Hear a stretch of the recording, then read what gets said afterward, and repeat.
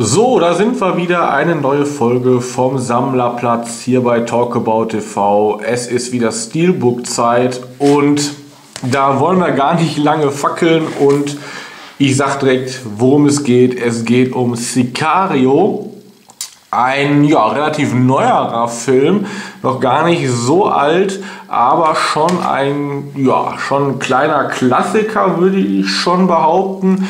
Ähm, ja, mit Benicio del Toro, äh, Emily Blunt und Josh Brolin in der Hauptrolle geht um ja, mexikanische Drogenkartells und ja, äh, hat mich schon sehr begeistert, der Film von Dennis Villeneuve inszeniert. So die neueste große Regiehoffnung. Der Mann hat auch unter anderem Prisoners gemacht. Und der Film ist auch ziemlich, ziemlich geil. Ja, aber es geht ja jetzt um Sicario. Und ja, sehr schöner Film. Ähm, Drohungsthriller, ähm, vor allen Dingen das Ende. Da gab es so eine Szene am Tisch eines Drogenbosses, äh, die hat mich schon sehr, sehr umgehauen. Puh, sehr intensiv. Und ja, hier haben wir das schicke Steelbook äh, von Studio Kanal in Gold gehalten. Und da gucken wir uns direkt mal das vordere Cover an. Und ja, ihr seht schon einen Totenkopf, so ein bisschen im äh, mexikanischen Stil, so der ähm, mexikanische Totenkopf und ja, sehr, sehr künstlerisch gehalten, gefällt mir so sehr gut. Im schicken Gold. Äh, da hatte ich euch ja mal von 300 ein Steelbook präsentiert, das war auch im kompletten Gold. Ähm, ist schon sehr, sehr edel. Ansonsten ist es ja relativ äh, schlicht gehalten alles. Von der Seite der Spine.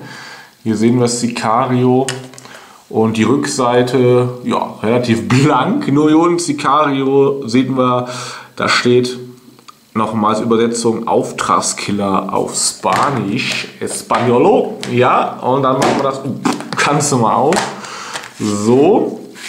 Und jetzt muss ich direkt ein dickes, fettes Lob äh, anbringen. Und zwar, hier hat mal jemand gecheckt, dass man diese Backcovers, diese, ähm, ich sag mal, diese Flyer-ähnlichen Dinger, dass man die endlich in der Größe macht, dass man sie auch ins Steelbook reinpacken kann. Ja?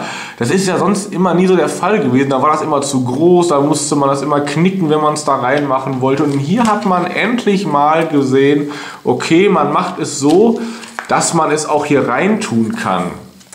Das macht doch auch Sinn. Ja, ich meine, äh, man lässt es ja hier hinten nicht dran ne, mit so einem Klebestreifen, weil das ist irgendwie blöd. Ähm, sondern man will es ja auch irgendwie trotzdem auch nicht wegschmeißen. Und dann kann man es hier so schön reinmachen, ja, wie so eine Art Booklet, wenn es die passende Größe hat. Und hier hat es mal endlich ein Hersteller gecheckt, dass man es auch so gestalten kann. Herrlich. So, das ist schon mal der dicke Lob. Und ja, ansonsten ist es natürlich hier dieses typische Backcover von den Standard-DVDs. Könnt ihr auch nochmal Pause machen, wenn ihr wissen wollt, was es da alles noch so drauf gibt. Ähm, ja, noch hier die Standardinformation. Ja, dass sowas uncut ist und so brauche ich gar nicht, glaube ich, gar nicht hier erwähnen in dem Fall. Ansonsten hier im Hintergrund des Steelbooks sehen wir Emily Blunt. Ähm, ja, auch eine schöne Rolle von ihr. So, dann ähm, genau, machen wir das mal raus und hier so, dann habt ihr das auch mal gesehen. Der Film ab 16 ist jetzt auch nicht wirklich extremst brutal, zumindest jetzt nicht äh, rein vom visuellen. So, ähm, das war das Steelbook von Sicario, aber weil es auch ein Steelbook gibt, das so einen ähnlichen Stil hat, würde ich das gerne nochmal daneben packen und dann könnt ihr euch ja entscheiden, welches ihr schöner findet. Und zwar habe ich jetzt hier Desperado als Steelbook, ja, der Klassiker oder schon der kleine Kultfilm von Robert Rodriguez. Und Ihr seht schon, ähnliches Style vom, vom Aufmachung her, mexikanischer Totenschädel so. Und jetzt möchte ich euch mal entscheiden, welches Cover findet ihr denn geiler? Dieser Totenkopf, dieser mexikanische von Sicario oder der hier etwas comichaftere von Desperado? So, damit lasse ich euch jetzt alleine.